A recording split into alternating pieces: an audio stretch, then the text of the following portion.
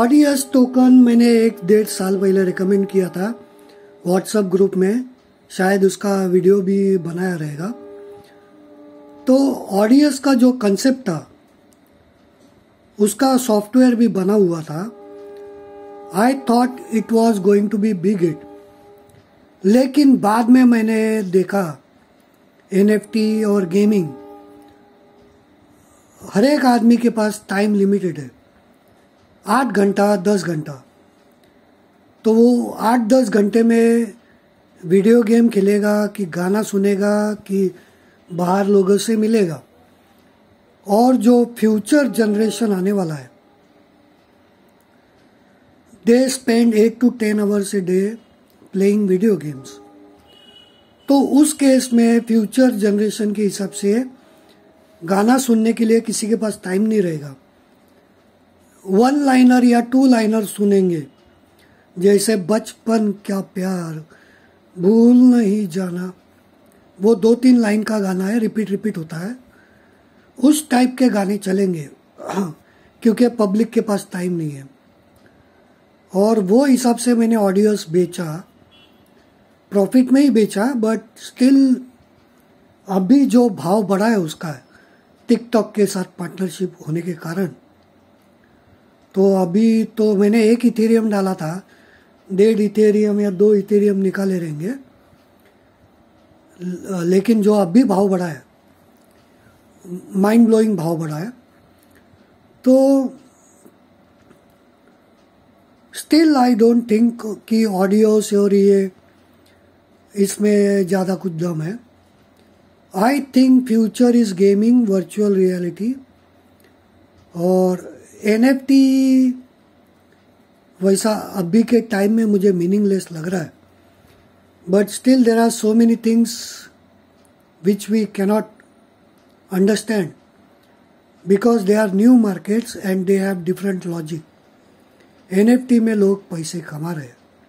अभी मैं N F T में कुछ किया नहीं है because I am still studying and I think the collectibles are meaningless. But still, people are making money on it.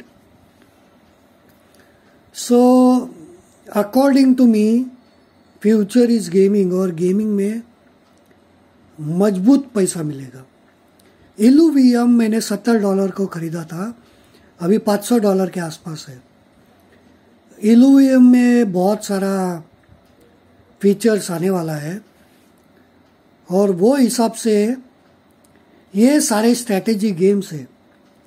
ऐसे इलूबियम एक्सी इन्फिनिटी जैसे बहुत सारे गेम्स आएँगे।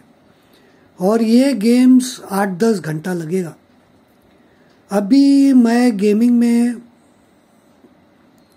I am not interested in gaming लेकिन झक मार के गेम खेलना ही पड़ेगा। अगर पैसा कमाना है तो गेम खेलना ही पड़ेगा। और ये सारे स्ट्रैटेजी गेम्स है। ऐसा नहीं कि तुम फटाफट सीख जाओगे। Strategy you need to prepare a plan to win और strategy games take lot of mental power and strategy games takes lot of mental power and time और इसीलिए इसमें टाइम देना पड़ेगा। विच इज़ वेरी पेनफुल क्योंकि ज़िंदगी आठ दस घंटा रोज़ कंप्यूटर पे बिताएगा that is no life actually क्योंकि you will be playing meaningless games you will be achieving meaningless targets सारे गेम्स से, मैंने बहुत सारे गेम्स देखे हैं। तो NFT टोकन खरीद, ये खरीद चार सौ डॉलर का, पाँच सौ डॉलर का। मतलब खेलने का ट्राई करेगा, पैंतीस पचास हज़ार रुपये खर्चा होएगा। और उतना खर्चा करने के बाद पता चलेगा, अरे ये मीनिंगलेस है। फार्म लैंड और ऐसे बहुत सारे गेम्स मैंने चेक किए। इट रिक्वायर्स इनिशियल इन्वेस्टमेंट एक एक एन टोकन काफ़ी महँगा है। और वो खेल के मिंटिंग होगा। और फिर टोकन मिलेगा एनएफटी मिलेगा, वो जाके ओपन मार्केट प्लेस में सेल करोगे। लेकिन जो इन्वेस्टमेंट है इनिशियल वो तीस पैंतीस हज़ार रुपया गया। और उतना पैसा घलाने के बाद पता चलेगा, कुछ भी काम का नहीं एन बिक नहीं रहा है। लेकिन ये चीज़ों पे ध्यान देना बहुत ज़रूरी है, क्योंकि फ्यूचर इज़ गेमिंग और ये जो future is e sports gaming और इसमें टोकन मिंटिंग और इसमें पैसा आएगा। क्योंकि जो आने वाला जनरेशन है they are heavily into gaming अपन सारा बुढ़ा लोग है, तीस साल के ऊपर वाला। They are not interested in gaming but still we have to invest our time in to gaming क्योंकि इसमें पैसा आ रहा है। तो कंप्यूटर पे बैठना आका दिन वापिस मजबूरी हो गया। एक्चुअली मैंने पूरा अपना जवानी कंप्यूटर पे बैठ के दस दस बारह घंटा वेस्ट किए। तो actually I am more interested in buying farm land and living a